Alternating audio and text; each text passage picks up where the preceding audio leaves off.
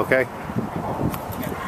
Hi, my name's Ken Hilliard. Uh, just bought this Dodge Ram, 2011 Dodge Ram 1500 from Mike Kirky at Milton Ruben Chevrolet. Uh, experience we had was very good from start to finish. He was very helpful, and they, everybody in the facility worked with us and helped us get into the vehicle that we wanted. And no pressure sales. Uh, just come in and tell them what you want. They'll work with you. They, they don't pressure you to buy anything and we'll probably come back next year when our other vehicles paid off and buy another vehicle from them.